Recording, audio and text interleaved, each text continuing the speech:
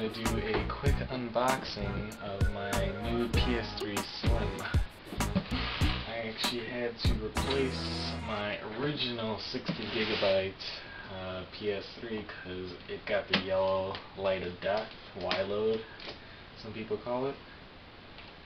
And so I tried to actually fix it, but it didn't come out so well. Uh, pretty much it worked for 10 minutes or so and uh,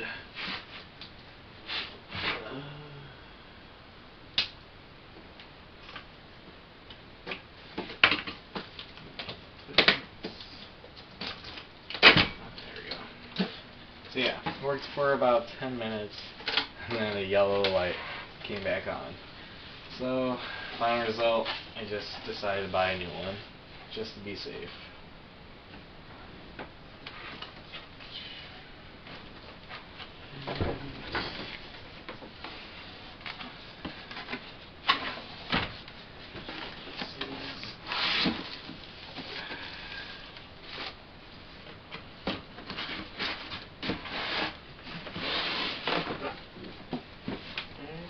Here's the system itself. It is really light compared to my old one. It looks real nice too. I like the matte finish on here. Wow, it is super, super thin. Very nice. Just put that right there. What else we got here? Got typical manuals and I'm guessing warranties maybe. And we got ooh, a DualShock PS3 controller.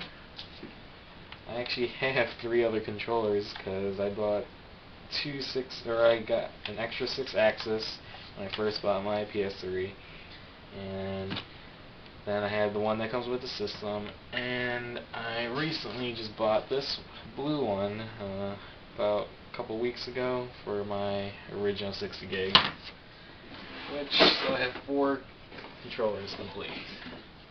So got got the composite cables here and the power cord which is actually smaller than my other power cord. Huh. Yeah, that's nice. And yeah, that is Oh, there's something else. So there is oh, USB to mini USB cord for my controller as well. And that's it for the box.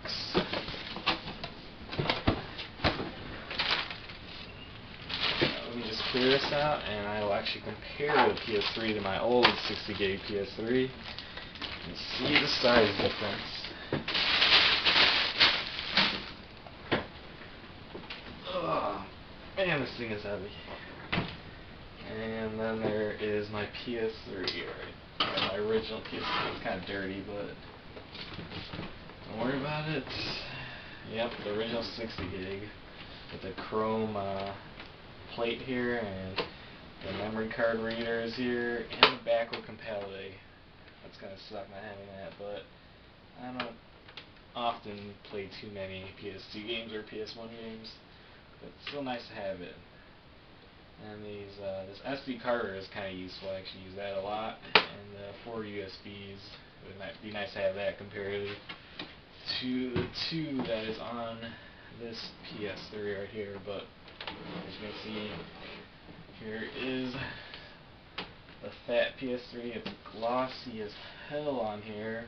This one got a matte finish. I kind of like that. And uh, it's, it's got a kind of glossier finish on the panel. And another thing, if you don't notice, here is the touch sensitive buttons. This are they're actually not buttons, they're just touch sensitive. And then these are the actual buttons right here. You got your PS3 logo. Oh, you can't flip it. You can't flip the PS3 logo. You can on this one. But as far as that, you got your two USBs here, and I got four USBs here. And here's the bottom of it. Not much of a difference there. Not nothing really going on back there. Here's the back.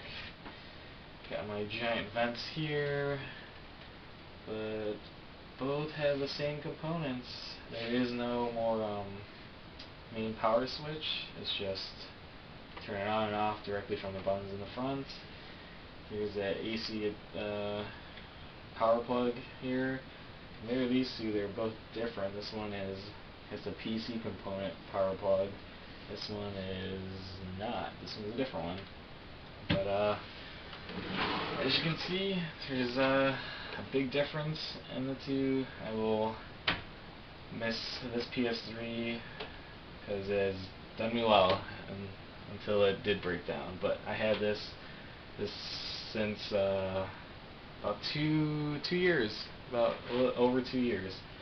So I bought this a while back and it did well, but I guess it overheated and unfortunately I spend another 300 bucks on this, but hopefully this will last me a lot longer until whatever the next gen of systems come out. But uh, thanks for watching. Uh, that is my new PS3 Slim.